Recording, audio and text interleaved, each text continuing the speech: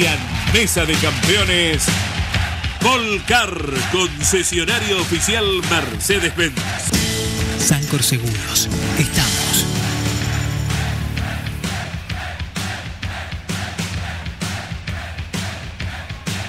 Morel Bullies Sociedad Anónima. Ubicada como la primer distribuidora singenta del país en venta de agroinsumos.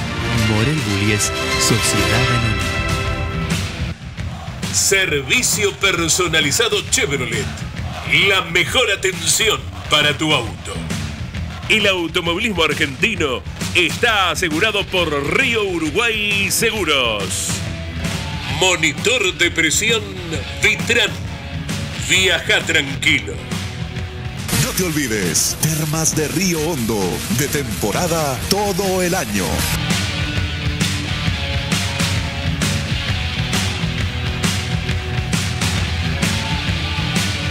FISPA, los especialistas en inyección electrónica, sendorística y encendido.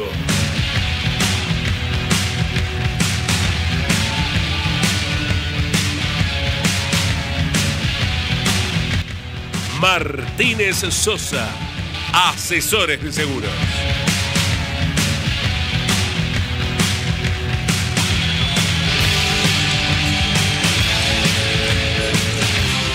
¿Cómo están? Bienvenidos, buenas noches.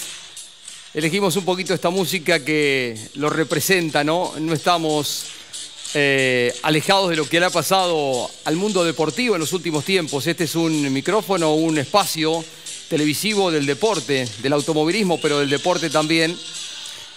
Y rendimos homenaje también desde aquí a un grande que se fue, que nos dio muchas alegrías a los argentinos. Somos generacionales y disfrutamos de aquellos tiempos, por supuesto. Nos emociona todavía aquellos momentos de los mundiales y lo que representó para el deporte y para el fútbol argentino. Estuvo cerca del automovilismo porque le gustaba el deporte y más cerca aún está su hermano, Lalo, con quien compartimos una linda relación desde hace mucho tiempo. Hemos ido muchas veces al autor, hemos andado en karting. Es un fiel seguidor de campeones, de este programa, de Campeones News, el programa que lleva adelante Claudio los martes con Nara, Jolie, de las transmisiones de campeones por Radio Continental. Te abrazamos, Lalo. En la semana seguramente lo haremos de forma personal. Fuerza. Y bueno, el recuerdo, ¿no, Pablo, para un grande, ¿no? Para Diego Maradona. Por supuesto, por supuesto que eh, es, eh, yo digo, no de la Argentina, sino del mundo, ¿eh? porque había que ver la repercusión que todo ello tuvo en el mundo para darse cuenta de lo que significaba Maradona, no solo en el ambiente del fútbol, sino en el ambiente deportivo mundial. Y estamos eh, con actividad deportiva. Se rindió homenaje, por supuesto, tanto en el Autódromo de Buenos Aires, donde corrió el Super TC 2000, eh, con victoria para Rubens Barrichello. Estaba feliz de la vida, a los 48 años eh, siempre tiene esta motivación adicional del aprendizaje, de iniciar un nuevo proyecto, como cuando lo convocó Toyota Argentina para formar parte de esta categoría y también de Top Race. Hay eh, extraordinarias actuaciones como la de Agustín Canapino. Ayer nos llenamos los ojos con esa escalada. También la del sábado fue muy notoria en la carrera clasificatoria. Una actuación sobresaliente también de un jovencito, el más joven de la categoría, Nico Moscardini, que alcanzó para Honda eh, la mejor eh, ubicación, el mejor resultado con un podio en la tercera posición. Y estaremos también repasando las TC Pickup con dos victorias de Mariano Warner en La Plata, también la Fórmula 1, el tremendo accidente de Román Grosjean, otra victoria para Hamilton, pero nos vamos a ocupar de lo que pasó en Bahrein. Eh, bien, se lo vio contento a Barrichello y está muy bien, ¿no? Que así sea. Sí, además fíjate que no, no venía muy bien hasta acá. Y en definitiva, en la quinta fecha, solo cinco fechas, le llevó a Rubinho llegar a ganar en el Super TC 2000 por primera vez con un auto para él en su dilatada trayectoria de tracción delantera. Deben ser esos días, Agustín Carapino, en el que uno llega a su casa o se baja del auto, no sé cuál será el momento, y que dice, hoy estuve bien, ¿no? Hice bien las cosas. ¿Qué tal, chicos? ¿Cómo van? Gracias por la invitación. Sí, fue un día, un fin de semana para mí arrancó mal en la clasificación, que no pude clasificar. Y bueno, obviamente, largando desde el fondo, 22. En el 6, con el Super TC 2000, que es muy complicado pasar, no había muchas esperanzas de hacer un, buen fin de semana en puntos. y me encuentro con que terminamos segundos. El, el día de ayer sumando 15 puntos contra cero que tuvo Matías.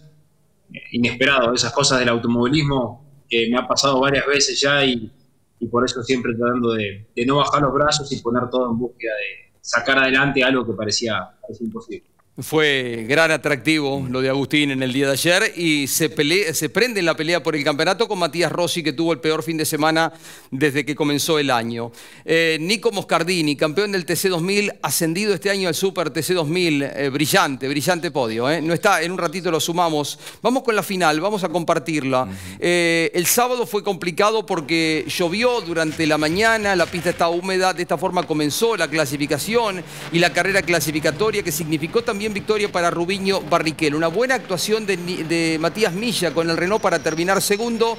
Y a espaldas de ellos estaban los Honda, tanto del Colo Rosso, destacado el día sábado, Pablo, y también la de Nico Moscardini, eh, que allí estaban peleando y luchando a la salida de la curva número uno es eh, allí donde se engancha, eh, pareciera que hay un roce, ¿no? Y queda perjudicado el colo Juan Ángel Rosso que venía en la tercera posición. Una largada bárbara de Valentín Aguirre que partía sí. octavo y en algún momento ahí rumbo a la confitería parecía tercero. Eh, largabas atrás de Matías Rossi, los dos habían escalado bastante porque él también tuvo sus dificultades en la clasificación, eh, Agustín. Sí, largaba 12, pude hacer una buena partida, ponerme octavo al final de la primera vuelta, avanzar bastante ahí en, ese pique inicial, sobrevivir a los roces fue una primera vuelta muy áspera, como era de esperar, ahí en el medio del pelotón en el 6. Y a partir de ahí arrancó mi primer parte de la carrera contra Tomás Gagliardi, que no lo pude pasar por muchas vueltas, realmente se dio bárbaro. Y cuando lo pude pasar, después de unas 15 vueltas, eh, a partir de ahí estaba con muy buen ritmo y, y avancé rápidamente hasta el, hasta el tercer lugar contra Berni que me dejó superar. Eh, lo pasé a Julián, lo pasé a Matías Milla y después tuve la oportunidad en la última vuelta con, con Nico que, que, me favoreció el pescar, ¿no? porque de esa manera tuve la, la oportunidad de atacarlo ahí. Justificadamente desencajado estaba Rossi por esa maniobra con Pernía y otra con Bernie Javer también. La batalla era campal, era a un eh, nivel eh, de desaprobación. Matías Milla estaba eh, demasiado áspero, demasiado áspero al riesgo de, de golpearse. Eh, con Santero, como veíamos recién, eh, con, Bernie Javer también, que luego toma medidas propias, ¿no? resoluciones que no son las que corresponden. Decíamos en la transmisión de Continental que iba quedando los pedazos del Renault de, de Javer, que de esta forma sostenía una posición que parecía el auto no tenía por rendimiento se apoyaban los autos. Nico Moscardini, ¿cómo te va? Felicitaciones, gran podio.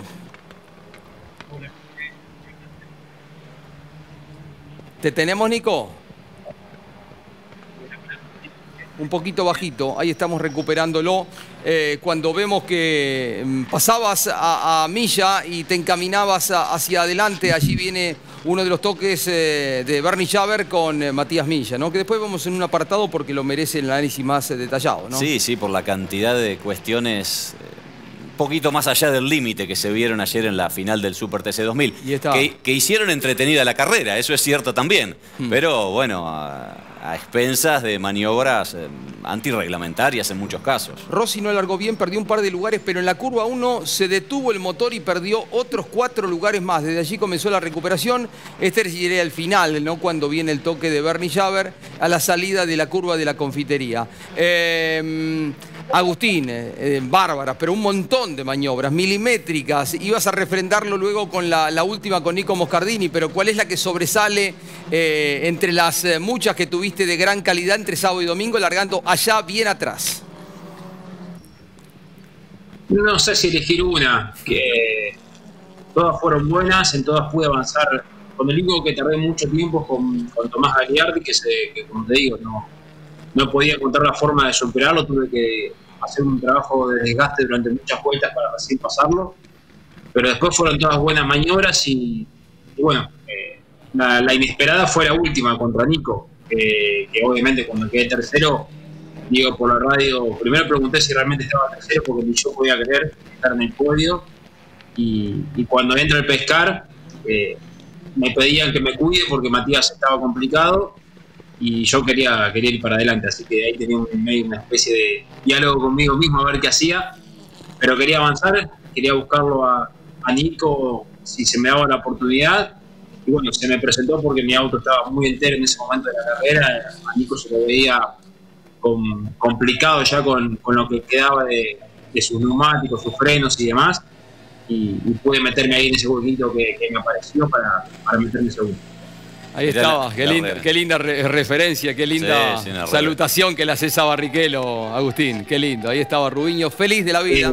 Hace 25 años eh, había corrido en Buenos Aires, circuito 6, con la utilización de la SDC en el lugar de la bajada del tobogán, pero disfrutaba de un momento de mucha alegría para él, su primera victoria en una carrera final del, del Super. Ahí estaba saludando a la Cámara de Campeones. Qué lindo gesto, Agustín, ¿eh?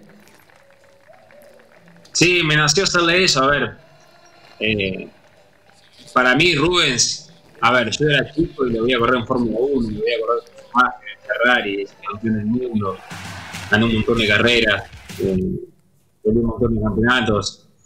Encima vino para acá, salió campeón en Brasil en autos de turismo, o sea, un tipo que en karting la rompe, viene acá, tracción delantera y ya gana.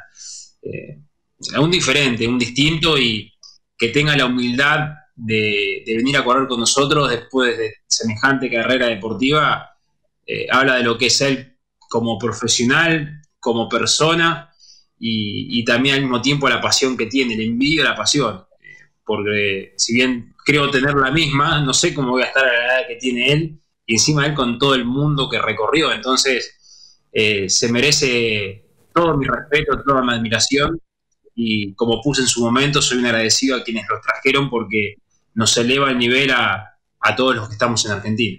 Lindo lo que señalás, Agustín. Eh, Nico, antes de ir a la pausa, eh, guardás esta foto, pero por siempre, un mural de pared a pared, ¿no? En tu casa. El podio, digo. Sí, Jorge, por supuesto. Eh, la verdad es que estoy muy, muy contento por, por este resultado. Es único para mí y, bueno, con las dos personas que tenía al lado, lo enaltece más todavía.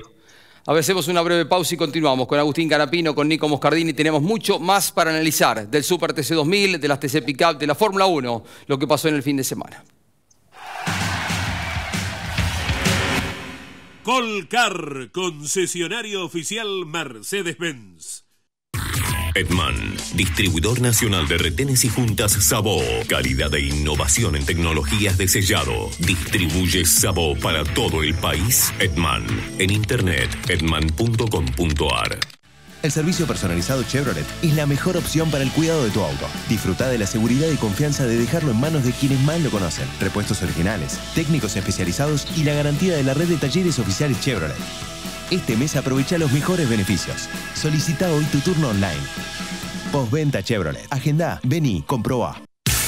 Campeones, la revista de automovilismo. El Super TC 2000 aceleró en el Autódromo de Buenos Aires. Información, análisis, estadísticas y las mejores fotos de una fecha clave. El Gran Premio de Fórmula 1 en Bahrein al detalle. Las TC Pickup y el TC Mouras en La Plata. Fórmula 2.0, Rally Argentino y mucho más. Campeones, edición digital. Adquirila ingresando a la sección revistas de nuestra web.